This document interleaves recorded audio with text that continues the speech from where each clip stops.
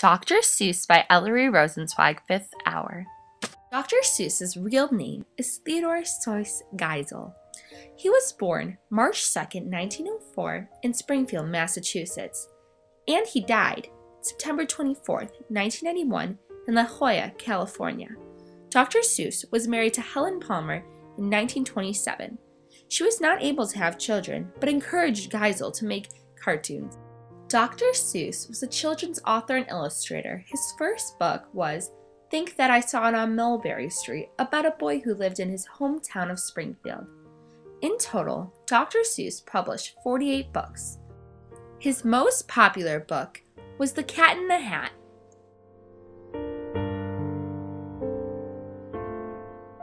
Dr. Seuss is influential because he changed children's literature. He made creative stories and taught children lessons that were easy to understand. He made vocabulary to make his poems rhyme. This made reading fun for children. Dr. Seuss taught many life lessons in his writing about love, ecology, politics, friendship, self esteem, and not to judge. Dr. Seuss impacted children's overall reading with the fun new rhythms, rhymes, and words making children want to read more. The amount of children reading grew exponentially.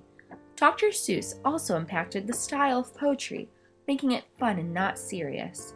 He made the lines rhyme and flow.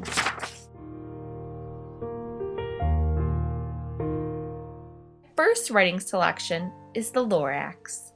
I am the Lorax.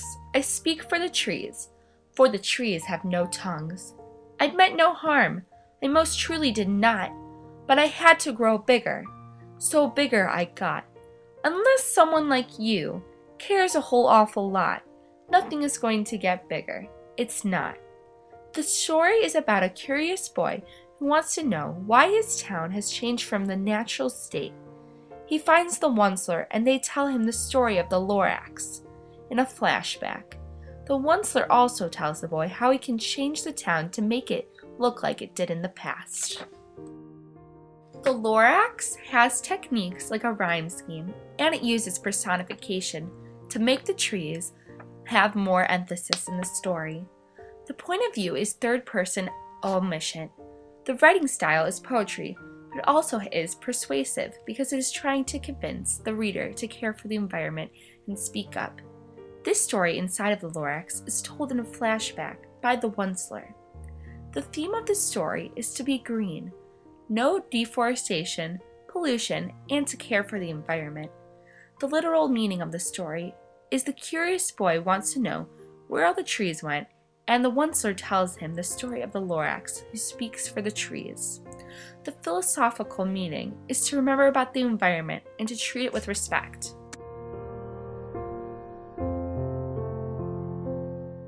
My second writing selection is Happy Birthday to You.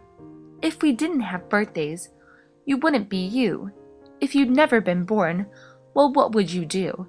If you'd never been born, well, then what would you be?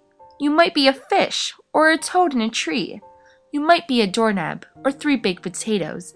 Be a bag full of green, hard tomatoes. Or worse than all that, why, you might be a wasn't. A wasn't has no fun at all. No, he doesn't. A wasn't just isn't. He just isn't present. But you are. You are you. And now isn't that pleasant? Today you are you. That is truer than true. There is no one alive who is more youer than you. Shout loud. I am lucky to be who I am. Thank goodness I am not a clam, or a ham, or a dusty old jar of sour gooseberry jam. I am who I am. That's a great thing to be. If I say so myself, happy birthday to me. Happy birthday to you has the technique rhyme scheme. The point of view is second person, which is very rare. The writing style is poetry and word repetition. The story also is set in Katroo, weird place that celebrates an amazing birthday party for the reader. The theme of the story is to be yourself and how great that is. The literal meaning of the story is a bird in a town wishing the reader happy birthday. Philosophical meaning is celebrating individuality and standing out.